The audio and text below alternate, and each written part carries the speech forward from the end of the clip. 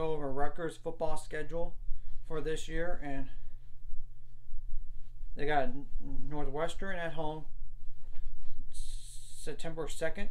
September 9th, you got Temple at home. You got September 16th, you got Virginia Tech at home. So all three of those games are winnable.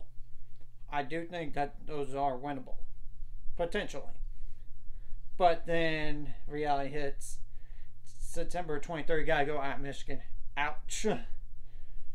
September 30th, you got Wagner at home. You better win that game or you'll have problems. September, I mean, October 7th, you got Wisconsin on the road. October 14th, you got Michigan State at home. And then November, I mean, October 21st, you got at Indiana. Then there's a bye week. November 4th, you got Ohio State at home. Then you got to go on the road to Iowa. November 11th, November 18th, you got Penn State and Ideal have back-to-back road games, and you have a late bye week too. That could be a problem. And you got Maryland at home on November 25th. Anyways, if you like this content, hit the like, subscribe, run, and see you guys later. Find subscribers, we're on the road to it. Let's go.